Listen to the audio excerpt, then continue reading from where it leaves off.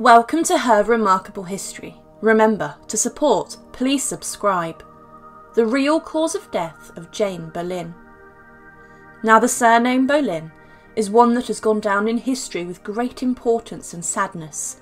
We associate the Boleyns with the plight of Anne Boleyn, Henry VIII's second wife, who helped to cause the English Reformation and also met her end inside the walls of the Tower of London. The Boleyns, as a family, were seen by some as great manipulators, especially the men who were desperate for power and influence across England. However, there was one lady who married into the family, and equally too, she was rather thirsty for power. Jane Boleyn has gone down in history as a rather strange figure, and much about her is wrapped in mystery. However, like her sister in law Anne, she was also executed at the Tower of London. Today we look at the real cause of death of Jane Boleyn, and remember, to support, please subscribe. Jane Boleyn, in the mid 1520s, married George Boleyn, the brother of Anne. Their marriage at this point was rather normal, as Anne was held in high regard at court, however, was not linked to the king. As a wedding present, Jane and George were given a mansion from Henry VIII called Grimston Manor, and she became known as Viscountess Rochford. Jane was referred to at court as Lady Rochford. As the Boleyn influence grew, as did the family's riches and property, and when Anne married Henry VIII, Jane became the sister in law to the Queen and also the aunt to the future Elizabeth I. Now, when the king's relationship with Anne Boleyn was good, George and Jane's was also too. However, when Anne fell from grace very dramatically, it would also end very tragically for Jane's husband George. Anne Boleyn had frustrated the king, and he sought to look for a new marriage with Jane Seymour, who he had become smitten with. Because of the king's need to get rid of Anne, and a web of lies and deceit that was spun by Cromwell, there was an attempt to rid the king of his second wife. Treason, adultery, and incest was levelled at Anne, and it was George Boleyn who was accused of the final crime with his own sister. A rumour alleged that it was Jane Boleyn who threw her husband under the bus. However, this is disputed.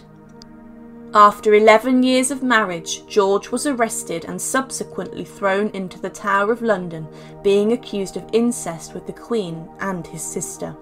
It was said that Jane allegedly testified against her own husband, due to jealousy she had because of his closeness with his sister. It was even said that she provided a false, incriminating testimony, but as said, this has been disputed. George was beheaded on Tower Hill, and Jane was made a widow. The execution of the Boleyns hit the family hard, and their reputation and wealth was greatly affected. She remained at court and then became a lady in waiting for Jane Seymour and she was seen as comfortable and had a number of servants. She continued to be a key manipulator at court and was prominent in Anne of Cleves' annulment with King Henry VIII, as she testified that Anne had told her she hadn't consummated her marriage with Henry. Following this, the king then married the teenage Catherine Howard, his fifth wife, and this is where Jane's downfall really came. Lady Rochford became a lady in waiting to the young and naive Catherine Howard. They grew rather close despite the age gap, and for some reason, Jane Boleyn began to become rather integral to helping the Queen's indiscretions. Catherine Howard's downfall came with the fact she was having an affair with one of the King's closest courtiers, Thomas Culpepper.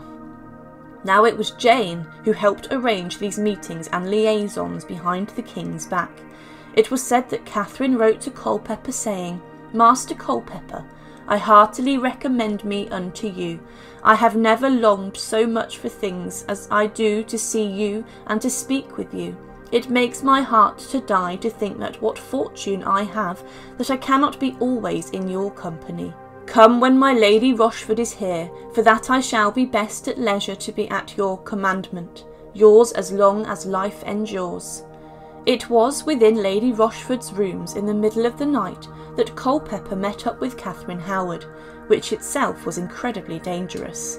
But why Jane Boleyn decided to involve herself in this was rather strange. It could possibly have been in retribution against the king for the fact he had executed her husband years before, along with Anne Boleyn, and also this could have caused great pain and frustration. So Jane may have wanted to get back at the king in the scheming that usually only led to one thing. Also, she may have been hungry for power and influence in court, which was rather prominent mission for most of those courtiers inside Tudor England.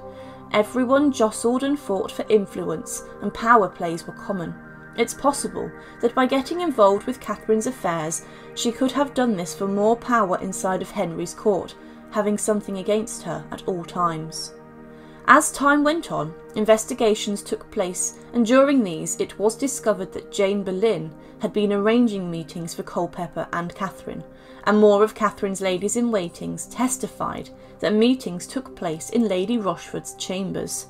It was found that at one time Culpeper and the Queen were in Jane Boleyn's room for around six hours being intimate. Jane Boleyn attempted to portray herself as an innocent bystander and said she had been at the other end of the room during these meetings and Culpeper accused Jane of provoking him into the affair with Catherine, and he claimed she was the one to blame for the whole illicit affair.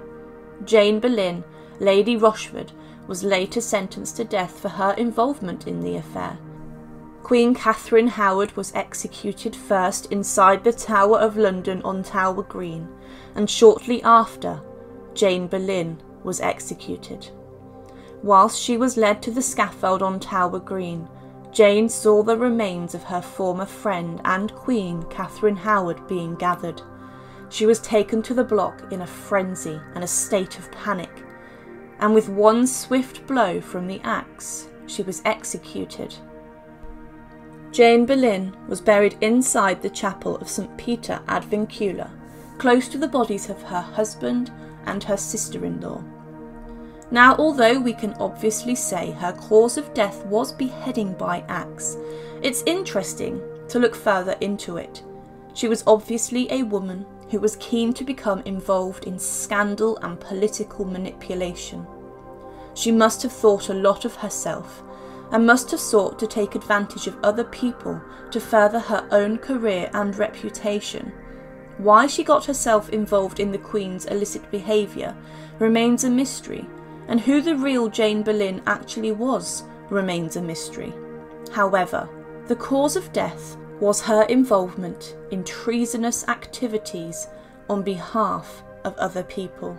One thing that does surprise me is Jane Boleyn saw exactly what had happened to her sister in law and her husband when they allegedly went against the king. So, another mystery is why Jane, knowing all of this, did exactly the same.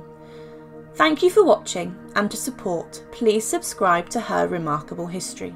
Thank you.